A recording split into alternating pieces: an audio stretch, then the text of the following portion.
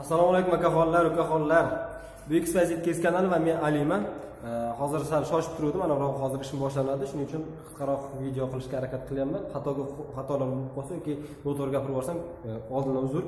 Ho'p mayli bu video e, toshkentdan turkiyagacha deb nomlanadi ya'ni qanaqangi muammolar bo'lishi mumkin yo'lda.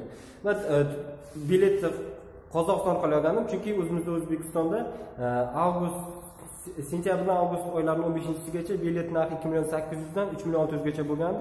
o'n beshinchi avgustdan keyin bu uch million olti yuzdan olti milliongacha ko'tarilib ketdi. Mani pulim to'g'risi kamroq yo'q edi desam ham bo'ladi. Keyin man qozog'iston orqali oldim ikki million yuz mingga.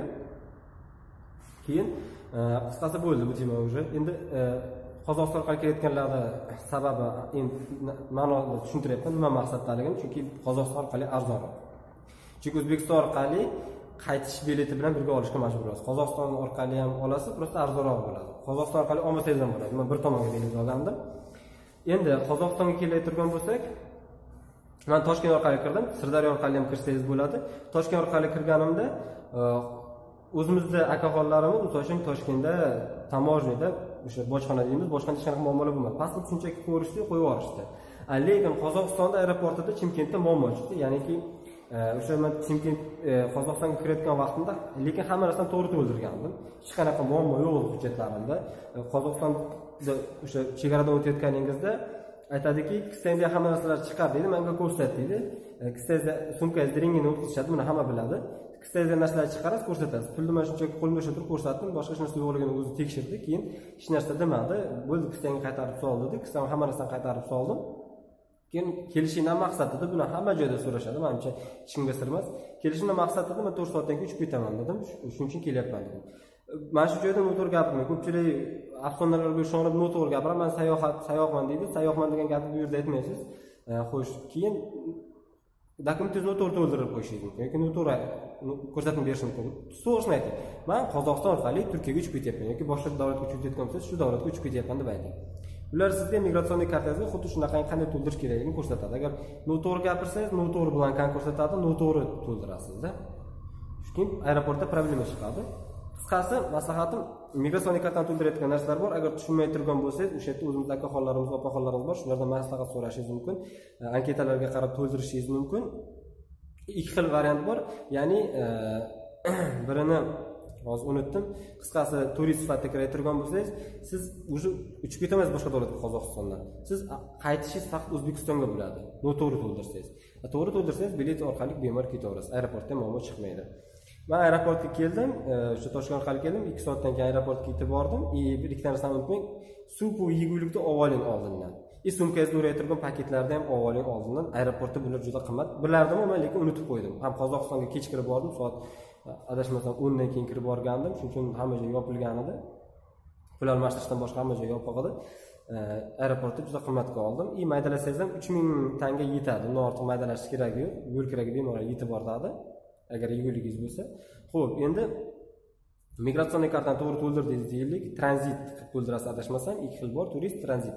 Tranzit qilib to'ldirasiz. Ya'ni siz qozog'istonga kirib uchib chiqib ketasiz boshqa davlatga. Shuning uchun.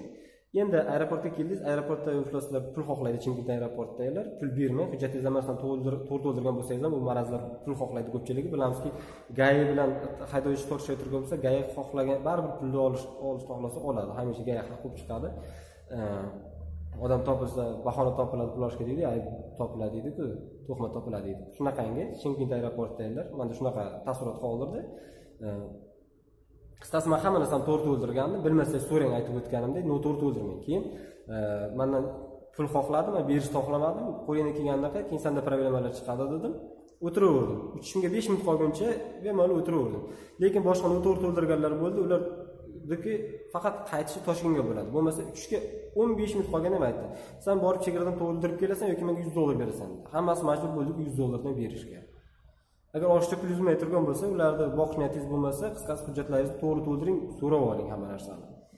Ho'p migratsionniy kartani to'g'ri to'ldirganingizdan keyin qozog'istonga aeroportiga bordingiz. Aeroportidan ho'p aytasiz misol uchun e, hamma hujjatlaringizni tekshiradi.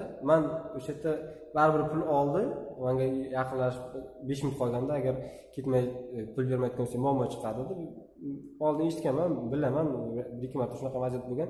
Agar xohlasa sizga narkotik tashlab qo'ysa по-любому bomba chiqadi. Shuning uchun ming tanga deydik mingtaga yigirma besh ming so'm adashmasam man yigirma minglab berdim. Majbur bo'ldim qisqasi problema chiqishini xohlamadim. Tuhmat tuhmatni bilaman. Va flos militsiyalar bor. Endi hamma joyda ham bor. Endi qandaydir uchrab qoldida? Qisqasi shu chimkent aeroportida shunaqangi bo'ldi. Keyin erta deylik chimkent aeroportidan o'tib bo'ldik deylik endi turkiyaga kelganingizda bir afsona borki man ko'p eshitdim. Yoningizda uch yuz dollardan kam besh yuz dollardan kam ming dollardan kam pul bo'la turib turkiyadan kirgizishmaydi deyishadi bu afsona turkiyaga bemalol kirishingiz mumkin faqat yolg'on gapirmang. E, ya'ni o'sha yoningizda hujjatingiz deymizmi dokumentingiz deymizmi e, avrog'i aniqrog'i kelganingizda e, kirib kelganingizda so'raydi kelishingdan maqsad deydi turkiyada ham turkiyada ham aytasiz. Misol uchun ishlash uchun deb turganmisiz manga aytishdi e, ishlash uchun deb aytmagin deyishganda man to'g'risini aytib ishlash uchun dedim. Yonimda to'rt yuz dollarlar pul bor adashmasam e, pulimni ko'rishdi. Hech qanday hech narsa demasdan qo'yib yuborishdi. Yonida yuz dollar ellik dollar sakson dollar puli bor odamlar ham bor. Ular ham to'g'risini aytdi man ishlash uchun keldim dedi. Aeroportga chiqqanda hech narsa degani yo'q. Qo'yib yuborishdi. Hech qanaqa problema ham chiqqani yo'q. Bu afsona yoningda ming dollar pul bo'lishi kerak masalan san qo'yib yuborishmaydi degani. Qisqasi bu videodan maqsad ikkita narsa. O'zbekiston orqalaringiz boshqa davlat orqali kelayotgan bo'lsangiz migratsion kartani to'g'ri to'ldiring? Tranzit adashmasam tranzit qilib to'ldirasiz. To'g'ri tushuntiring. Man uchib ketaman e, qozog'iston orqali deng turistman turistman demang migratsion kartani to'g'ri to'ldiring? Aeroportda muammo chiqmasligi uchun. И pul bermang. Ko'pchilik qandaydir e, hovliqadi deymiz o'pkachilik qiladimi deyman. E, aeroportda bir o'n kishidan shunday to'xtatishdi shular ichida man ham bordim lekin e, shular shulardan yettitasi hujjatni noto'g'ri to'ldirgan ekan. O'zlari o'sha boya aytib o'tgandek turist sifatida to'ldirgan ekan. Ular majbur edi deylik e, o'sha qozog'iston tamojasiga borib kelishga. uch yuzga o'n besh minut qolgan. U yoqqa borib kelishingiz kamida ikki soat vaqtingizni oladi. Agar ko'p vaqt olmasa. Shuning uchun shantaj qilib o'sha qozog'iston aeroportida pul oldi. Har biridan yuz dollardan. Bitta o'zbek aka xonimiz ham bor ekan. Sal pal e, tushunar ekan. Manga o'xshab rosa tortishdi. Mani ham hujjatim hech qanaqa problema yo'q edi rosa tortishdi. Ah, axir baribir majbur bo'ldim pul berishga endi ah, ho'p o'sha akaxonimiz ham ayb o'zida bo'lsa ham tortishdi. E, ellik dollardan yuz dollar berdik kishiga. Ayb o'zida bo'lsa ham qisqasi tortishdi tushuntirdi hamma narsani. E, qisqasi demoqchi bo'lganim shu. Hovliqmang baribir xudo xohlasa uchib ketasiz.